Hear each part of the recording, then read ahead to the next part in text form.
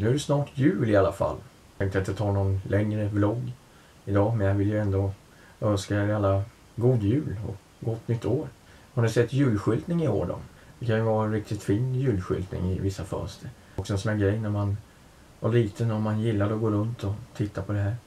Julskyltning, dagarna innan jul. Det är ju faktiskt, det har gått hela december jag har sett sådana här julfilmer nu på TV. Jag tog ju sådana här tips på julfilmer i någon annan vlogg i alla fall, runt jul. Det är ingen idé att jag säger det igen.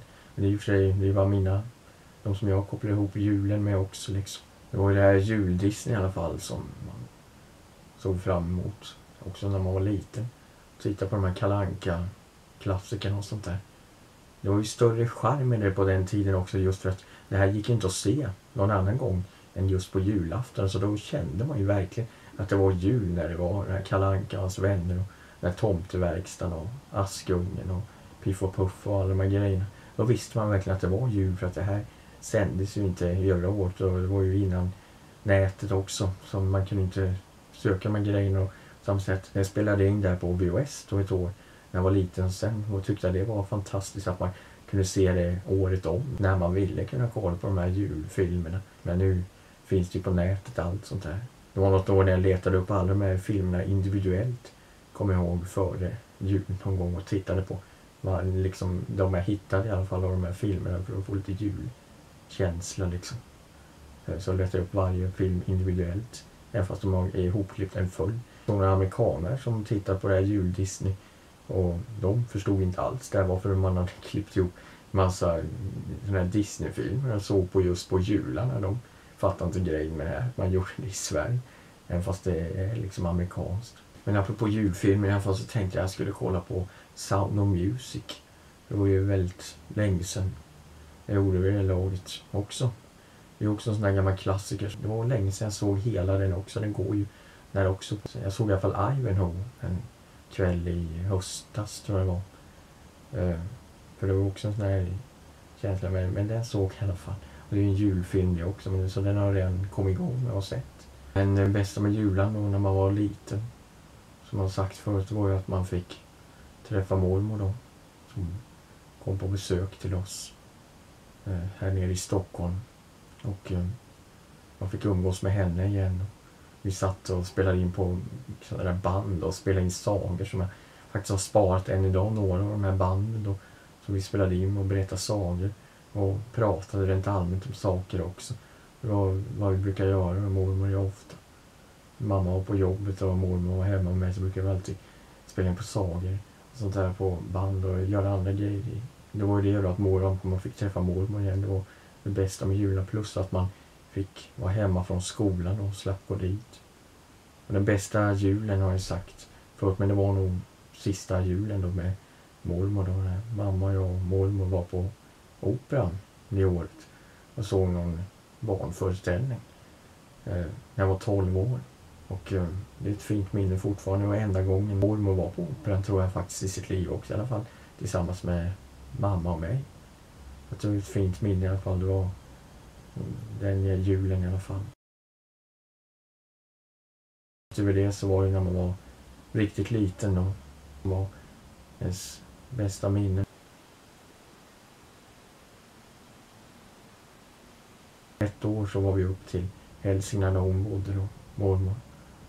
Och jag var ute i havet sådär. det har jag ju sagt förut, men det var ett väldigt fint minne i alla fall. Och det var, det var även den dagen när jag gick tror jag, på julen. Jag är inte riktigt säker om det var på julen eller på sommarlovet. Men det, varför skulle man ha en sån serie mitt i sommaren, tänker jag. Det var förmodligen på julen. Så mamma och jag vaknade tidigt då, så gick upp för att se det. gick liksom tidigt på morgonen. Och um, det var fint också. En annan grej man gillade var de här julspelen i skolan. Det är uppe i aulan, hette det. Skolan, de hade sådana här uppträden och sånt. Då var det också den här stämningen att då visste man att man fick ha jullov sen. Och man, ibland var man med på de här. Det var fint att titta på det här. Man var ju blyg liksom och var på scenen och uppträdde liksom. Men det var kul i alla fall i efterhand att minnas också. Och sådär fint julminne. En jul så klarade jag faktiskt Super Mario Bros 2 som eh, jag hade spelat mycket det året. Och eh, sa till mormor att jag hade klarat den äntligen. Alltså de tyckte det var jättekul att jag hade kommit till mål och fick se den här slutscenen och sånt där. Alltså. Återigen, det kunde man inte heller se andra som hade gjort det på nätet på den tiden. Så att det var, det var nytt när man väl upplevde det så att säga. Eh, det var ju liksom charmen i det också, att man hade kunnat ta sig igenom och verkligen fick se det. För att kunna liksom bevisa att jag faktiskt hade klarat det här i julhelgen så tog jag Istället för att fota av tv-skärmen så tog jag på den tiden jag tog en sån här smörpapper och la på tv-rutan. Så skissade jag av de här slutbilden på Mario att han ligger och sover där i slutet på det här, eh, just Super Mario Bros 2 just för att kunna visa att jag hade klarat av och fick upp den här slutbilden så skissade jag av den här Mario då, eller slutbilden på ett smörpapper och sa att det här är slutbilden på det. Ja, sa folk och blev imponerade men det kändes som att han höll på länge. Det var också en julhelg i alla fall, mellandagarna. Jag klarade det, kommer jag ihåg. Det ska jag skriva upp det också i dagbok. Helt klart de bästa jularna i alla fall när man var riktigt liten. Och eh, fick träffa mormor då. Mamma och jag och mormor. Var och firade jul i Stockholm och även åkte upp som sagt till henne där och det var riktigt mycket snö. Som det var på den tiden. Eh, det var mamma och jag liksom som kom och kollade på juldisney och lite sådär.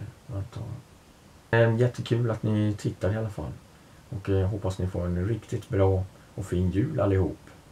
Och här kommer lite jul, eller vintersekvenser i alla fall. God jul och gott nytt år till er allihop.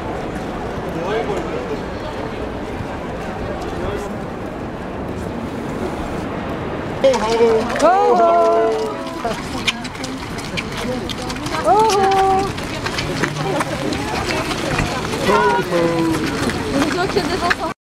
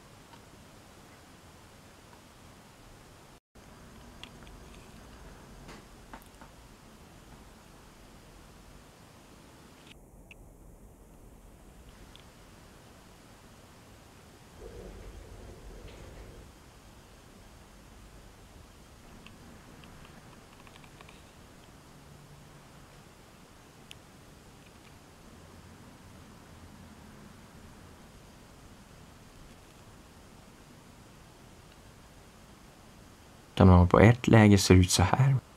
Och så kan man ha på det här.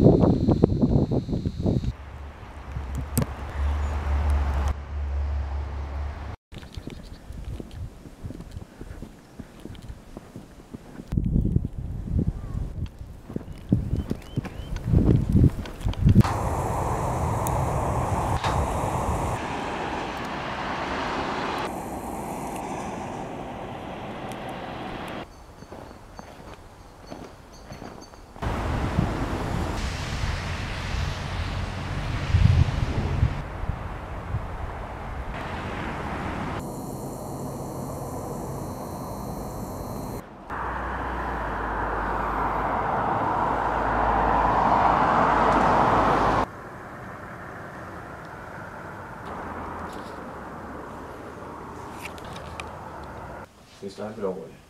Jag står vid granen. Jag önskar alla en riktigt god jul och ett gott nytt år.